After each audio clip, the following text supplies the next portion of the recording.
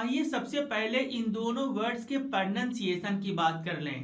P E T R O L इस word का pronunciation है पेट्रोल वहीं अगर हम बात दूसरे वर्ड की करें, जो है P A T R O L तो इस वर्ड का प्रोनाउंसिएशन है पेट्रोल यानी पहले वर्ड का साउंड है पेट्रोल जबकि दूसरे वर्ड का साउंड है पेट्रोल आइए सबसे पहले पेट्रोल का कुछ एग्जाम्पल्स देखें। वर्ड पेट्रोल एक नाउन है, साथ ही साथ वर्ब भी है। जब वर्ड पेट्रोल का इस्तेमाल हम एक नाउन के जैसे करते हैं तो इसका मीनिंग होता है पहरा या पहरेदारी। और जब इस वर्ड का इस्तेमाल हम वर्ब के जैसे करते हैं तो इस वर्ड का मीनिंग होता है पहरेदारी करना या गश्त करना।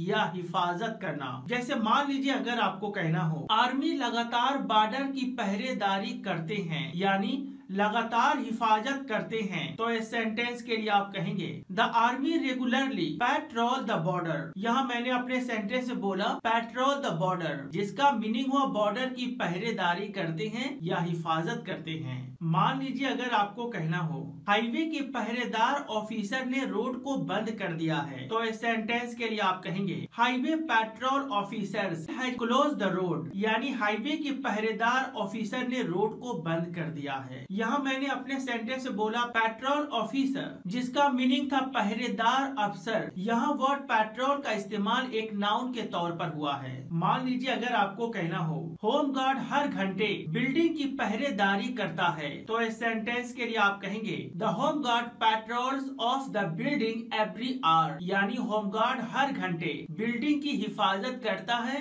या पहरेदारी करता है। फ्रेंड्स उम्मीद करता हूँ आपको वर्ड पेट्रोल का मीनिंग समझ में आया। कि वर्ड पेट्रोल का मतलब होता है पहरा या पहरेदारी। और जब इस वर्ड का इस्तेमाल आप एक वर्ब के जैसे करते हैं तो इसका मीनिंग होता है हिफाजत करना या पहरेदारी करना। अगर हम बात पेट्रोल की करें तो वर्ड पेट्रोल का मतलब होता है तेल। और आमतौर पर ये वर्ड बहुत कॉमन है, जिसे हम सभी जानते हैं। जैसे मान लीजिए अगर आपको कहना हो, मेरे बाइक में तेल नहीं है। तो इस सेंटेंस के लिए आप कहेंगे there is no petrol in my bike यानी, मेरे बाइक में पेट्रोल नहीं है या तेल नहीं है। मान लीजिए अगर आपको कहना हो पेट्रोल की कीमत हर रोज बढ़ रही है। यानी पेट्रोल की कीमत दिन प्रतिदिन बढ़ रही है।